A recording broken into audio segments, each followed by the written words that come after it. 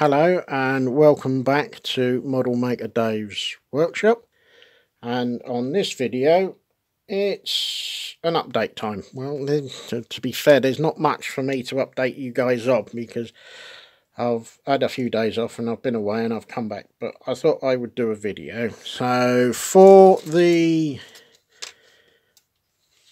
the Honda that I'm doing I've got the the lens is done, well, almost done, I'll say.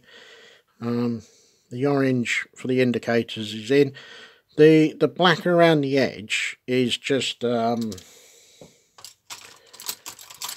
just a good old Sharpie pen used around the edge. All I'm trying to do is is simulate the the rubber on the rubber seal that goes between lens and the light itself. So, so that's that idea. The red brake light, rear light, needs to be done again because even I can see it's a little bit patchy in there and it's a bit patchy in there as well. So we'd, we'd do that again and put another couple of coats on and see where we go on that. So that's that bit. The exhaust no further forward. It is what it was the last time I showed you. So uh, not much to say on that one. Um, the wheels, I've now used some liquid mask around the majority of it. It's just these raised areas that have got no mask on. So I'm either going to do use hot metal blue or uh, hot metal violet on them. Just as a as an accent color it's a custom bike it's a custom build so it will be a little bit different. I'm not necessarily sticking to the rules on this one. It's it's um it's a custom build and as far as i'm concerned anything pretty much goes. The chain guard has had several coats of semi-gloss black put on it and I've very carefully rubbed it back with a bit of 3000 sanding sponge. Um, I've before I started using this I, I rubbed it on my other table that I use for laptop or um, spray booth and knocked off the newness so that it wasn't too harsh. But as you can see I've still got a bit more to do on that. The other thing that I've done is hopefully got rid of the seam line that's along the along the chain on both sides. I'll have another look at that and if necessary go over it again uh, the engine, oh well that's, I think that's pretty much the same as what it was the last time I did an update. I haven't done anything else on this, so that is as it was. Um, the saddle sides I've done the same as I, have done on the on the chain guard itself. Um, as for the detail work on the saddle, I'm thinking if I've used the blue on the wheels, then I'm going to use the violet just in these grooves. What colour this will be will probably be a matte black, I think.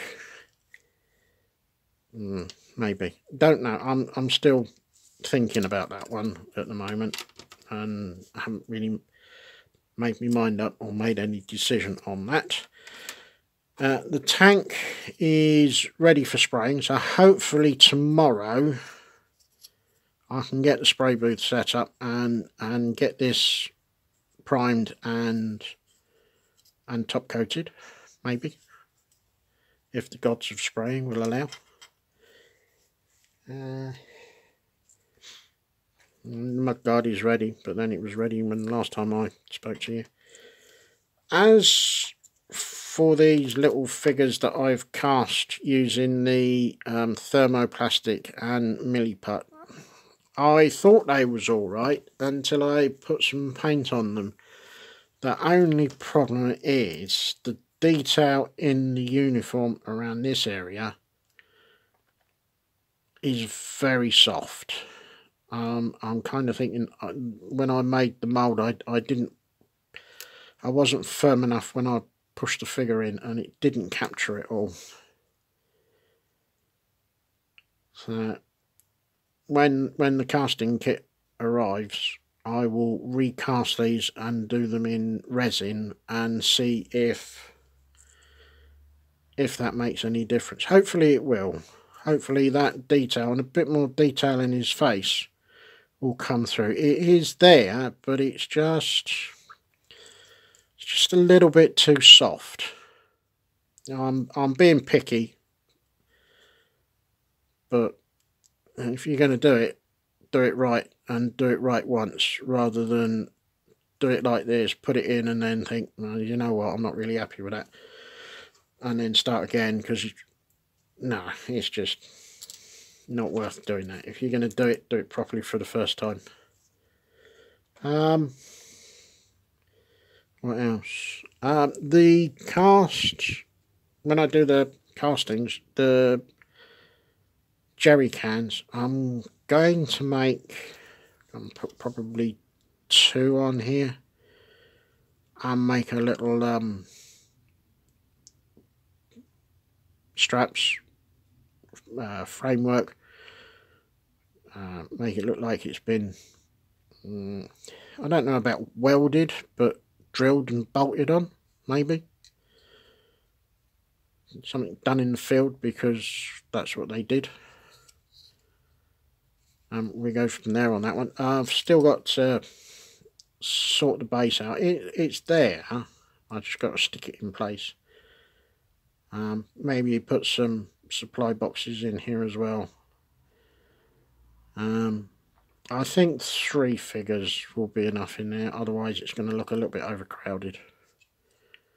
So that's where I am on, on that.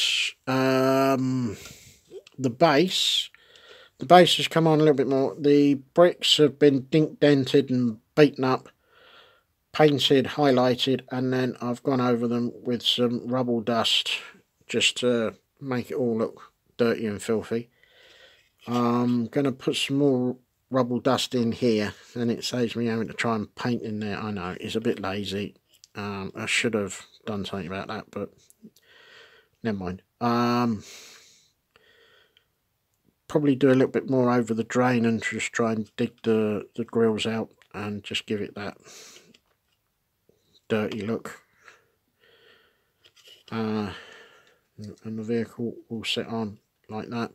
It's it's looking good. It's getting there. I've I've just got to get the figures done, the floor done. Maybe do the jerry cans on there. Um, and then we're pretty much done. I although I'm I'm hmm, a bit too late now to put a driver figure in there. That's a shame. Never mind. You're not going to see him anyway, so doesn't make too much of a difference. So we'll put that over there. Um, the motorcycle and sidecar, no further progress at the moment. Um, the figures as well, I haven't done any more on those, apart from maybe um, a bit more flesh work, but they are pretty much as the last time you saw them. As for the few, the RAF pilots, they nothing nothing done on that. They are still very much where they are.